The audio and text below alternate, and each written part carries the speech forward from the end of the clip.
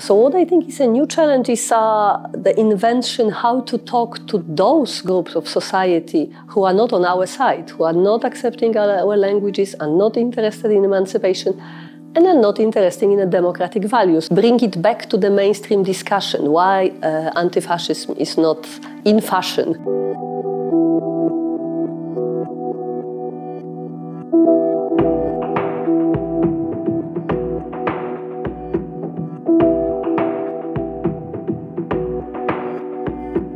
What is the situation in the field of uh, Polish contemporary art? In the era of populism, uh, art institutions, they are giving certain area where people can uh, go out of this everyday propaganda, everyday um, politics, slogans, and so on. So maybe this process which is going on in art institution on the art field is slower, less uh, visible, but it's, it's, it's going on as a certain uh, strong foundation for the uh, resistance which will uh, come soon.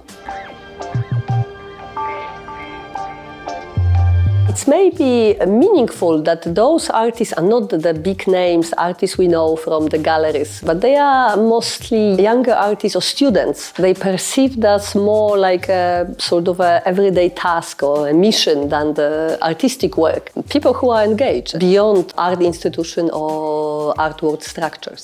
What is the position of the Museum of uh, Modern Arts to have a program which is uh, dedicated to this topic? We were trying few uh, projects based on self-criticism. Maybe the one to mention is the exhibition about uh, how artists, artwork betray uh, its own uh, tradition, the tradition of avant-garde. How much art and artists become a part of a ruling class.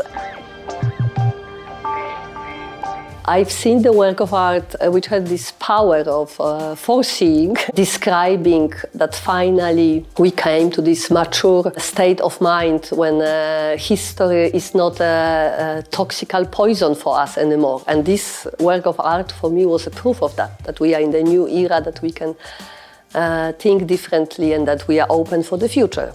And, but that's, uh, I was wrong.